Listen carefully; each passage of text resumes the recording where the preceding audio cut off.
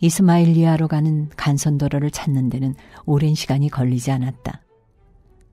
나는 간선도로로 들어서자마자 라곤다를 시속 100km로 몰기 시작했다. 길은 좁았다. 그러나 울퉁불퉁하지는 않았고 차도 많지 않았다.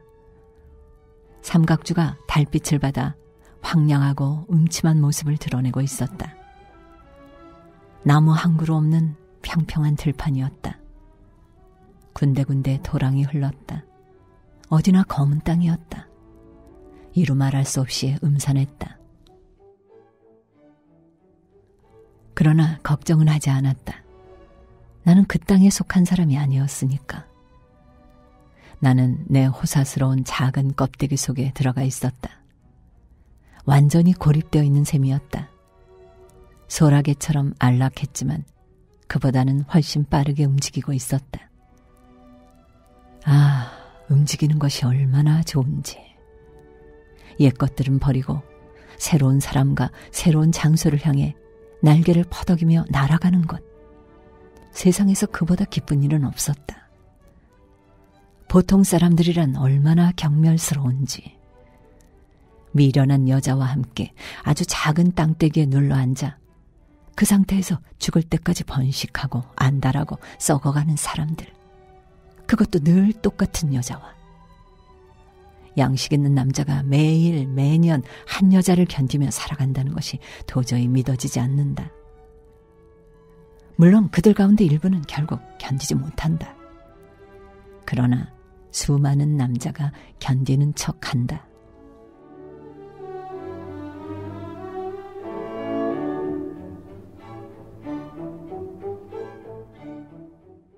나 자신은 한 번도, 결단코 한 번도 친밀한 관계가 12시간 이상 지속되는 것을 허용한 적이 없다. 12시간이 최대의 한계다. 그러나 사실 8시간도 지루하다. 예를 들어 이사벨라에게 생긴 일을 보라. 우리가 피라미드 정상에 있을 때 그녀는 번뜩이는 재능이 돋보이는 여자였다. 그녀는 강아지처럼 유연하고 장난기가 넘쳤다.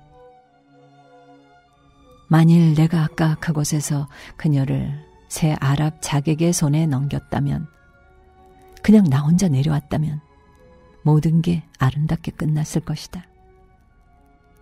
그러나 나는 어리석게도 그녀를 버리지 못하고 그녀가 내려오도록 도와주었다.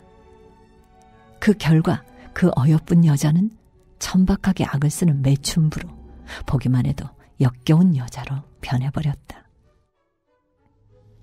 도대체 우리는 어떤 세상에 살고 있는 것인지, 어떻게 해서 기사도 정신을 발휘해도 고맙다는 말조차 듣지 못하는가? 라곤다는 밤을 뚫고 순조롭게 미끄러져 갔다. 이제 오페라의 시간이었다. 이번에는 무엇으로 할까? 베르디를 부르고 싶은 기분이었다. 아이다는 어떨까? 그래, 아이다여야만 해. 이집트 오페라. 제일 잘 어울려. 나는 노래를 부르기 시작했다. 오늘 밤에는 목소리가 유난히 잘 나왔다. 나는 목청껏 소리를 질렀다. 즐거웠다. 빌베이스라는 작은 도시를 통과할 무렵 나는 아이다가 되어 일장을 마무리 짓는 아름다운 노래 누미 삐에따를 부르고 있었다. 30분 뒤 자가지구에서는 아모나스로가 되어 마뚜레 뚜 시뇨레 포센테를 부르며 이집트의 왕에게 에디오피아 포로들의 목숨을 구원해 달라고 간청하고 있었다. 아라바사를 통과할 때는 라마메스가 되어 푸찌암리 아도리 이노스 삐띠를 부르고 있었다. 차창을 활짝 열어두고 있었으므로 이 비할 데 없이 아름다운 노래는 길가의 오두막에서 코를 골고 있는 펠라힌의 귀에 이르렀을지도 모르고 어쩌면 그들의 꿈과 뒤섞였을지도 모르는 일이다. 이스마일리아에 들어갔을 때는 아침 6시로 우유를 뿌려놓은 듯 희뿌연 하늘 높이 해가 빛나고 있었다. 그러나 나는 아이다와 함께 무시무시한 지하 동굴에 갇혀 오 때라 아띠오 아띠오 발레 뒷비안띠를 부르고 있었다. 시간이 얼마나 빨리 흐르는지 나는 호텔로 차를 몰았다. 호텔 직원들은 이제 막 잠에서 깨어난 것 같았다. 나는 그들을 다그쳐 남은 방 가운데 가장 좋은 방을 얻었다. 그럼에도 침대의 시트와 담요는 25명의 씻지 않은 이집트인들이 25일 동안 계속해서 잠을 잔 것처럼 보였다. 나는 내 손으로 그것들을 벗겨내고 그 직후에 살균 비누로 손을 씻었다. 대신 내가 가지고 다니는 이부자리를 깔았다. 그런 다음 잠용종을 맞추어 놓고 두 시간 동안 푹 잤다.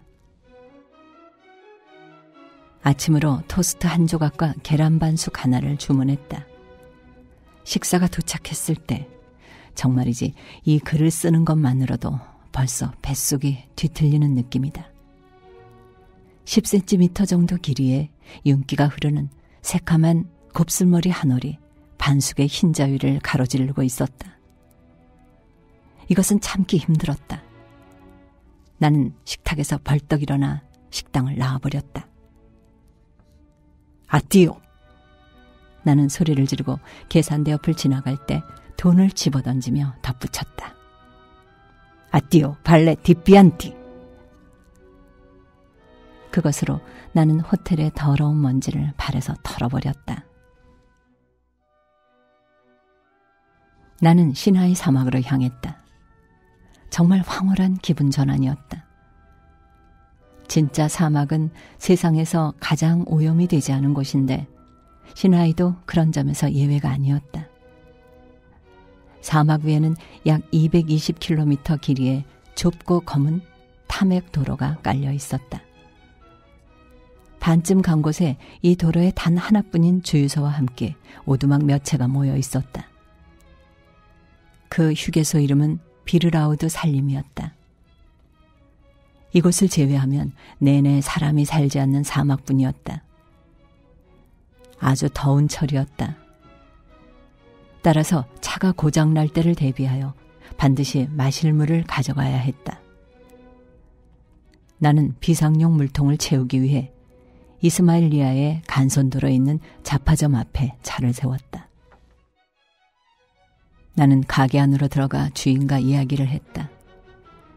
주인은 아주 지저분한 결막염으로 고생하고 있었다. 눈꺼풀 안쪽에서 염증이 아물면서 생긴 육아 조직이 심하게 부풀어 올라 눈꺼풀이 천막을 친 것처럼 눈알 위로 들어 올려져 있었다. 불결한 모습이었다. 나는 끓인 물 1갤런을 사고 싶다고 말했다. 그는 내가 제정신이 아니라고 생각하는 것 같았다. 내가 그의 뒤를 따라 지저분한 부엌으로 들어가 그가 일을 제대로 하는지 확인하려 하자 완전히 미쳤다고 생각하는 것 같았다. 그는 수도에서 나오는 물을 솥에 봤더니 파라핀 난로에 올려놓았다. 난로에서 작고 노란 불길이 피어오르며 연기를 내뿜었다. 주인은 난로와 그 성능이 몹시도 자랑스러운지 고개를 한쪽으로 기울이고 감탄하는 표정으로 난로를 바라보고 있었다. 이윽고 그는 나더러 가게로 돌아가서 기다리는 게 어떠냐고 물었다. 준비가 되면 물을 가져가겠다고 했다. 나는 거절하고 그곳에 그대로 서서 사자처럼 솥을 지켜보며 물이 끓기를 기다렸다. 그때 아침에 보았던 계란 반숙이 갑자기 눈앞에 떠오르면서 그것을 보았을 때 느꼈던 기분도 고스란히 되살아났다. 달걀, 흰자위, 머리카락. 반숙의 물컹한 흰자위에 박혀있던 머리카락은 대체 누구 것이었을까? 주방장의 머리카락이 분명했다. 그렇다면 주방장이 마지막으로 머리를 감은 것은 언제일까? 아마 평생 머리를 감은 적이 없을지도 몰랐다. 그럼 좋다. 그의 머리에는 거의 틀림없이 해충이 있었을 것이다. 그러나 그것만으로는 머리카락이 빠지지 않는다. 도대체 무엇 때문에 오늘 아침에 주방장이 반숙을 팬에서 접시로 옮길 때 그의 머리카락이 반숙 위로 떨어졌을까? 만사에는 이유가 있다. 이 경우에 그 이유는 분명했다. 주방장의 머리 가죽은 화농성 지루성 농가진에 감염되어 있었던 것이다. 따라서 내가 조금만 부주의했으면 삼켜버렸을 그 길고 검은 머리카락에는 수백만 마리의 병원성 구균이 우글거리고 있었다. 다행히도 그 균의 과학적 명칭은 잊어버렸지만 그 주방장이 환홍성 지루성 농가진에 걸렸다고 어떻게 그렇게 자신 있게 말하느냐고? 물론 자신하지는 못한다. 자신할 수 없지. 하지만 만일 그가 환홍성 지루성 농가진에 걸린 것이 아니라면 틀림없이 백선에 걸렸을 것이다. 그것이 뭐냐고? 나는 그것이 무엇인지 너무나 잘 안다. 그것은 수천만 마리의 진균이 그 끔찍한 머리카락 주위에 달라붙어 내 입으로 들어가기를 기다리고 있었다는 뜻이다. 구역질이 나오기 시작했다. 물이 끓래요. 주인이 의기양양하게 말했다. 끓게 놔두시오. 8분만 더 기다립시다. 내가 티푸스에 걸리기를 바라지 않는다면 말이오. 나는 아무리 깨끗하다 해도 가능한 한 담수 자체만 마시지는 않는다. 담수에는 아무런 맛이 없다. 물론 차나 커피로는 마신다. 그러나 그럴 때도 병에 담아 파는 빛이나 몰번의 물을 사용한다. 수돗물은 피한다. 수돗물은 끔찍하다. 하수구로 버린 물을 다시 갖다 먹는 것과 마찬가지인 경우가 많다. 이렇게 끓다가는 김으로 다 날아가 버릴 겁니다.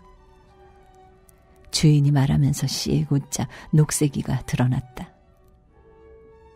나는 직접 솥을 들어 안에 든 것을 내 물통에 부었다. 이어 가게로 돌아와 오렌지 여섯 개, 작은 수박 하나, 포장이 잘 된 영국제 초콜릿 하나를 사서 다시 라곤다에 올라탔다.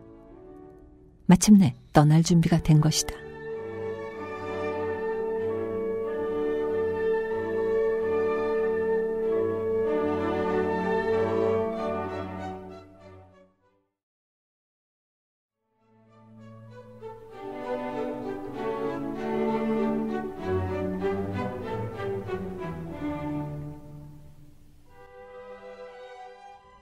몇 분 뒤 라곤다는 탐사 호수 바로 위를 흐르는 수에즈 운하에 걸려 있는 다리를 건넜다. 앞에는 뜨거운 사막이 넓게 펼쳐져 있었다.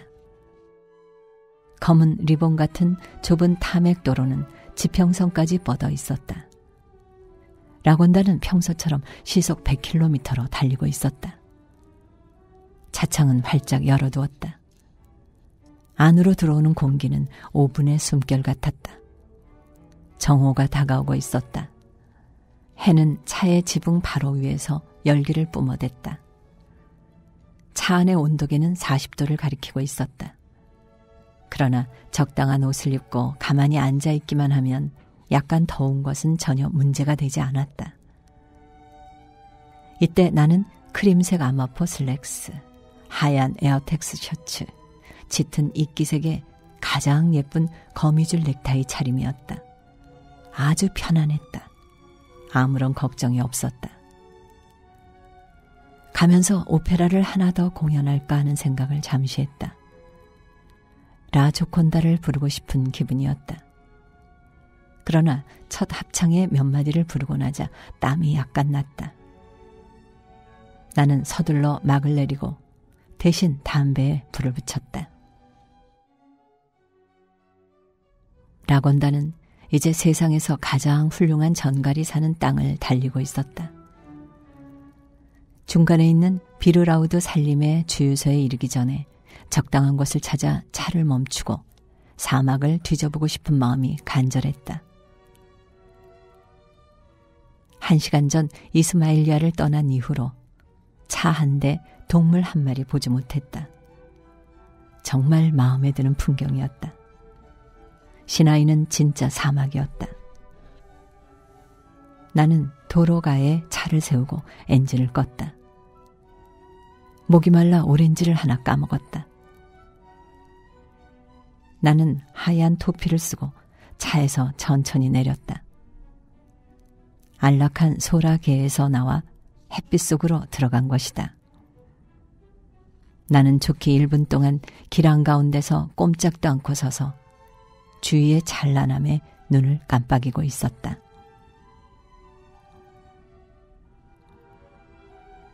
불타오르는 태양, 광대하고 뜨거운 하늘, 그리고 그 밑으로는 사방이 노란 모래로 이루어진 크고 창백한 바다였다. 딴 세상에 온 것 같았다. 도로의 남쪽으로 멀리 산이 보였다. 타나그라 토기 색깔의 헐벗고 창백한 산들이 햇볕을 받아 파란색과 자주색으로 뿌옇게 빛나고 있었다. 산은 갑자기 사막 위로 불끈 솟아오르듯이 나타나더니 어느새 하늘만 남기고 열기의 아지랑이 속으로 희미해지고 있었다. 압도적인 적막감이 밀려왔다. 아무런 소리도 없었다. 새 소리도 벌레 소리도 없었다. 찬란하고 뜨겁고 비인간적인 풍경 한가운데 홀로 서 있으니 묘하게도 신이 된 듯한 느낌이 들었다. 다른 행성에 목성이나 화성에 와 있는 것 같았다. 아니면 더 멀고 더 황량한 어떤 곳. 풀 한 번 자란 적이 없고 구름 한 번 붉어진 적이 없는 어떤 곳에 와 있는 느낌이었다. 나는 차의 트렁크를 열고 채집 상자, 포충망, 흑손을 꺼낸 다음 도로를 벗어나 뜨겁고 부드러운 모래 속으로 들어갔다. 사막 속으로 100m 정도 천천히 걸어 들어갔다. 눈은 바닥을 살피고 있었다. 나는 전갈이 아니라 전갈의 집을 찾고 있었다. 전갈은 어두운 곳에 서식하는 야행성 생물로 낮에는 종류에 따라 돌 밑이나 굴 안에 숨어 있다가 해가 진 뒤에야 먹이를 찾아 나섰다. 내가 찾는 오피스토프 탈무스는 굴에 사는 놈이었기 때문에 돌을 뒤집느라 시간을 낭비할 필요가 없었다. 오로지 굴만 찾아다녔다. 그러나 10분, 15분이 지나도록 하나도 찾지 못했다. 이미 더위는 견딜 수 없을 정도였다. 결국 내키지 않았지만 차로 돌아가기로 결정했다. 나는 느린 걸음으로 돌아가며 눈으로는 여전히 바닥을 살피고 있었다. 막 도로에 발을 올려놓으려는 순간 아스팔트의 가장자리에서 30cm도 떨어지지 않은 모래에 전갈의 굴이 눈에 띄었다. 나는 채집 상자와 보충망을 옆에 바닥에 내려놓았다. 그리고 작은 흑선으로 조심스럽게 구멍 근처에 모래를 긁어내기 시작했다. 이 작업만 시작되면 흥분에 몸이 떨렸다. 마치 보물 찾기 같았다. 더도 아니고 막 피를 휘저을 만큼의 위험이 따르는 보물 찾기. 모래 속으로 점점 더 깊이 파고 들어가면서 나는 가슴 속에서 심장이 방망이질 치는 것을 느낄 수 있었다. 순간 그 녀석이 나타났다. 오, 이런, 이렇게 큰 놈이. 거대한 암컷 정갈이었다. 그러나 나는 그것이 오피스토프 탈무스가 아니라 판디누스라는 것을 한눈에 알아보았다. 이놈 역시 굴 속에 사는 아프리카 정갈이었다. 그리고 이 커다란 암컷의 등에 너무 좋아서 믿어지지 않을 정도였지만 하나, 둘, 셋, 넷, 다섯 총 14마리의 아주 작은 새끼들이 붙어 있었다. 어미는 길이가 적어도 15cm는 되어 보였다. 새끼들은 작은 리볼버 총알만한 크기였다. 어미는 나를 보았다. 아마 평생 최초로 본 인간이었을 것이다. 어미의 집게발은 넓게 벌어져 있었다. 꼬리는 물음표처럼 등 위로 높이 감겨 있었다. 당장이라도 공격할 태세였다. 나는 포충망을 집어들고 어미의 배 밑으로 미끄러뜨린 다음 얼른 잡아챘다. 어미는 몸을 비틀고 꿈틀거리며 꼬리 끝으로 사방을 사납게 공격했다. 독 한 방울이 그물 사이로 떨어져 모래밭에 떨어지는 것이 보였다. 나는 얼른 어미를 새끼들과 함께 채집 상자로 옮기고 뚜껑을 닫은 다음 차에서 에테르를 가져다가 상자 위쪽에 작은 거즈 구멍을 통해 안에 패드가 푹 젖을 때까지 부었다. 내 수집품 가운데 한 자리를 차지하면 이놈의 모습이 얼마나 멋져 보일까. 물론 새끼들은 죽으면서 어미의 몸에서 떨어질 터였다. 그러나 나중에 풀로 새끼들을 원래 있던 모습 비슷하게 붙여놓을 생각이었다. 그러면 나는 새끼 14마리를 등에 짊어진 거대한 암컷 판디누스의 자랑스러운 소유자가 되는 거야. 뿌듯한 만족감이 찾아왔다. 나는 채집 상자를 집어들어 보충망 흑송과 함께 트렁크에 집어넣고 차에 내 자리로 돌아가 담배에 불을 붙인 다음 시동을 걸었다. 나는 만족스러우면 만족스러울수록 천천히 운전을 한다. 이제 아주 느리게 차를 몰고 있었다. 중간 휴게소인 비르라우드 살림까지 가는데 거의 한 시간이나 걸렸던 것 같다. 그것은 아무런 재미가 없는 곳이었다. 왼쪽에는 주유 펌프 하나와 나무 오두막이 한 채 있었다. 오른쪽에는 오두막이 세 채 있었는데 모두가 도기 제조용 오두막만한 크기였다. 나머지는 사막이었다. 사람은 한 명도 보이지 않았다. 오후 2시 20분 전이었다. 차 안의 온도는 41도였다. 이스마일리아를 떠나기 전에 물을 끓이느라고 법석을 떠는 바람에 차에 기름을 가득 채우는 것을 깜빡 잊었다. 눈금은 이제 2갤런이 약간 못 되는 양을 가리키고 있었다. 아슬아슬했던 셈이다. 그러나 이제 상관없었다. 나는 펌프 옆에 차를 대고 기다렸다. 아무도 나타나지 않았다. 경적 단추를 눌렀다. 음을 맞춘 네 개의 경적에서 손자 밀라에트라가 울려 퍼졌다. 그러나 아무도 나타나지 않았다. 다시 경적을 눌렀다.